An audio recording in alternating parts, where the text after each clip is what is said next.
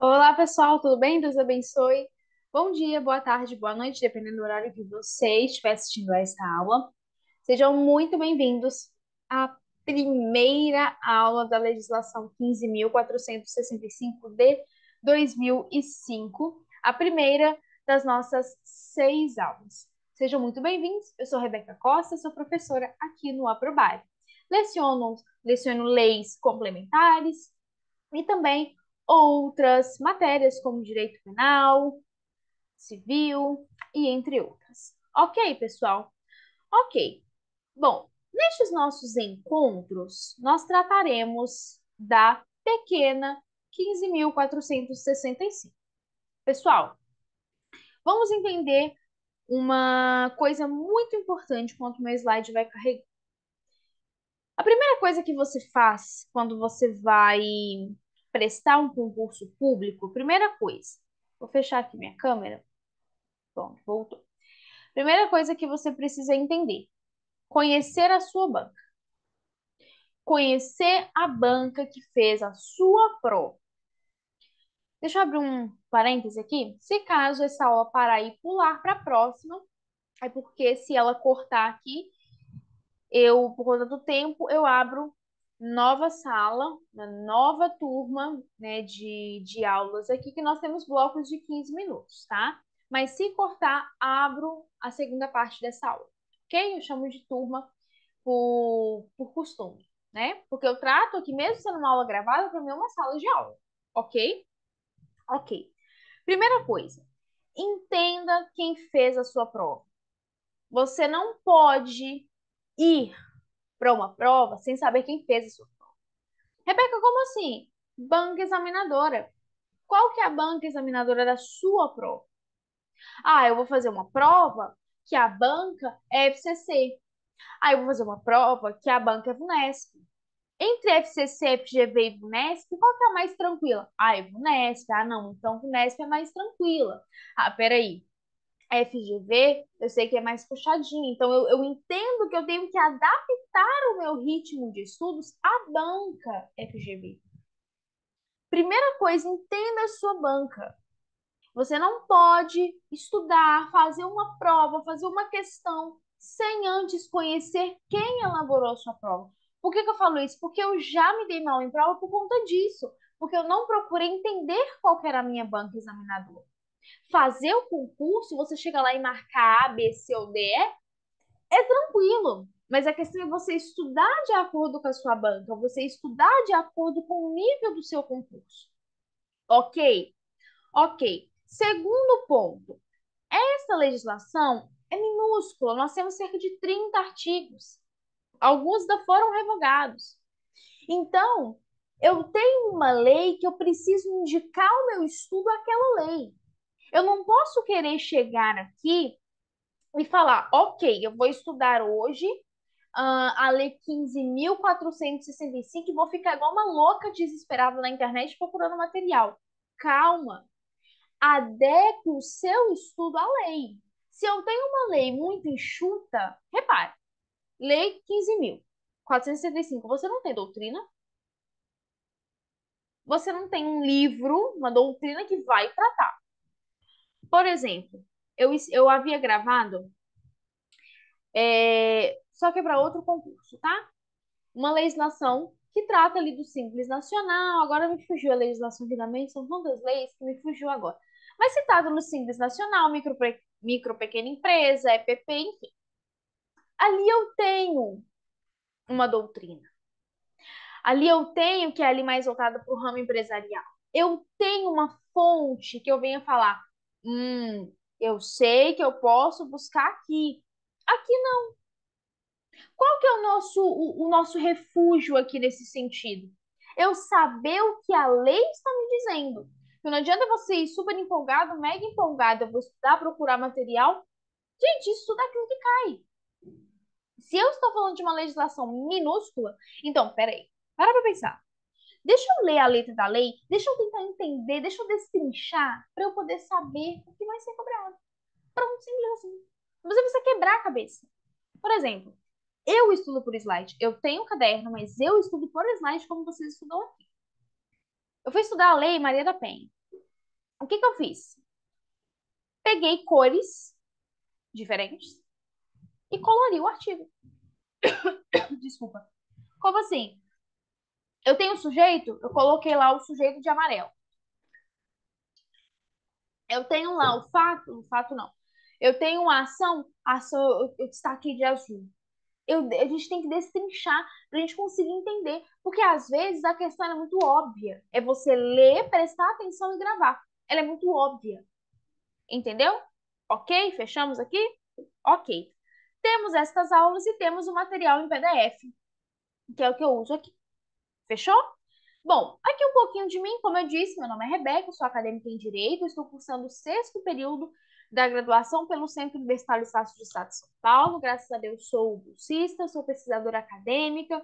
Agora também, graças a Deus, em nome de Jesus, eu entrarei como mentora também, ali voltada para o direito constitucional na minha faculdade.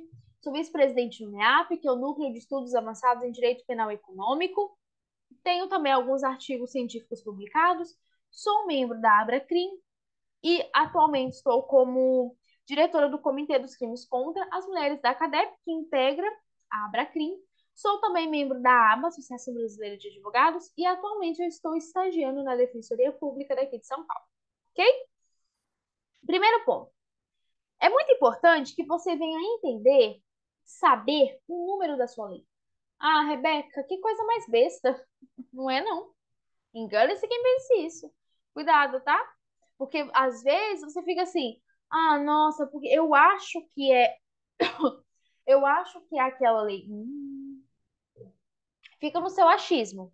Cuidado. Eu já me já errei em prova por causa disso, porque eu não me lembrava o número da lei. Tá, gente? Só tomar uma água aqui, gente, porque falar é bom, mas tomar água. Bom, saiba o que a lei ela vai tratar. Neste caso aqui que nós temos ela vai instituir as carreiras do grupo de atividades de seguridade social do Poder Executivo. Verbo. Gente, eu tenho, eu tenho, eu tenho assim, eu tenho um toque com verbo. Por quê? Porque eu sou, eu sou assim, eu sou louca por verbo. Você sabe muito direito penal? Então você tem os verbos, né? Ação. E aí eu comecei a ler todo o artigo, toda a lei que eu vou ler, eu me atento ao verbo. Porque se eu tenho um verbo, eu tenho ação. Se eu tenho uma ação, eu tenho um sujeito. Cuidado. Eu sou, gente, eu sou assim, eu tenho um pouquinho da do anseio do direito penal. Então, gente, não me julguem. Vamos lá, gente. No capítulo 1, nós temos as disposições gerais, que é muito importante. Por que, que é muito importante? Porque eu não posso chegar lá no final sem eu saber o começo. E eu estou aqui pulando slides sem o meu consentimento. Eu preciso saber o. Acho que eu não vou conseguir pegar minha caneta. Ah, consegui. Preciso saber as disposições gerais, como também as finais transitórias. Artigo 1 ficam instituídas na forma desta lei as seguintes carreiras do Grupo de Atividade e Seguridade do Poder Executivo: analista de Seguridade Social, técnico de Seguridade Social, auxiliar de Seguridade Social, analista de Gestão de Seguridade Social, assistente técnico de Seguridade Social. Deixa eu apagar só para eu poder ver o finalzinho, que eu não consigo ver o foto do slide, tá, gente? Fica na frente. Médico da área de Seguridade Social. Parágrafo único. Opa! Eu pulo no artigo aqui sem querer. A estrutura das carreiras instituídas por esta lei e o número de cargos de cada uma delas são constantes no anexo 1. Então, o número é, de cargos de cada uma delas, ok? Bora lá, então. Artigo 2 para os efeitos desta lei, considera-se, preciso primeiro, grupo de atividades, o conjunto de carreiras agrupadas segundo a sua área de atuação. Então, quando eu falo grupo de atividades, eu estou falando o conjunto de carreiras agrupadas segundo sua área de atuação. Então, grupo de atividades está ligado à sua área de atuação. Dois, Carreira, o conjunto de cargos de provimento efetivo, agrupados segundo sua natureza e complexidade, e estruturados em níveis e graus, escalonados em função do grau de responsabilidade das atribuições da carreira. Então, falamos de carreira. Carreira, conjunto de cargos de provimento efetivo, agrupados segundo a sua natureza, complexidade, e vai ser estruturado em níveis e graus, escalonados em função do grau e responsabilidade e atribuições da carreira. 3.